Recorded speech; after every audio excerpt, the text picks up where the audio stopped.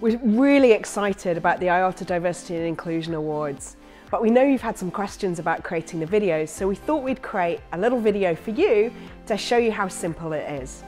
So my first tip is really keep it simple. This is about the message, not really about how artistic you are in shooting a video. And your video needs to be only two to three minutes long.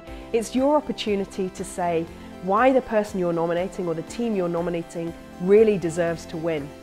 You don't need any fancy equipment, you can shoot it on your phone. And really, you can use as many people or as few people as you want to describe why you are nominating a worthy winner of this award. And we're really mainly interested in what they've done and what impact that they've had on the industry or your organisation. If you've got any footage of the person, of course you can include that, but it's not totally necessary. The one thing we'd like is that it has to be in English or with English subtitles in order that we can really appeal to an international audience. There are a few things to avoid in the video. They are as follows. Try not to share anything that's been previously recorded, recorded or which is really just an interview with the person.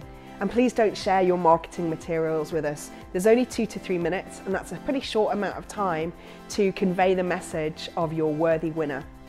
What we've done is in a couple of minutes we put together a short video just to give you an example of how low-key this can be. Don't hesitate to contact us if you've got any questions. Hi guys, you all know Janet, right? Yes, yeah. of course, yeah, yeah. I think we should nominate her for IATA Diversity and Inclusion Awards. Oh yeah, that's a good idea actually. Yeah, it's a good idea. Yeah, for the role model uh, award, I think it's great.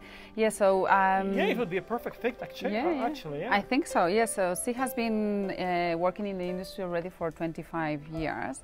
What I'm sure uh, you don't know is that she actually started as a um, as a crew member, uh, but her passion was always to become a, a pilot, which we know that uh, she managed to do because she's a, she's a captain in our airline.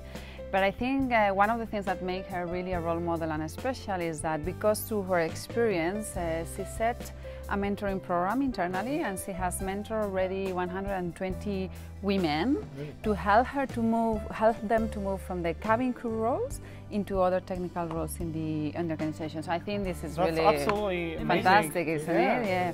And the other area where she has been really a key contributor in the organization is on the diversity and inclusion agenda. So she really uh, push our executive team uh, to define a strategy and ensuring that um, we will follow through in, in, in the agenda around that uh, strategy. So that's, definitely that's that for me, yeah, I think it's already a key achievement. She's also quite impressive outside of our organization. I know that she influenced government to get more girls on uh, STEM subjects. Mm -hmm. And not only that, in her spare time, she also teaches uh, English to a group of immigrants. Although oh. I don't know when she manages to find a time yeah, for that. Definitely. and I know, and I know she's a, she's a really amazing motivational speaker. But she only speaks in uh, on the panel that is diverse.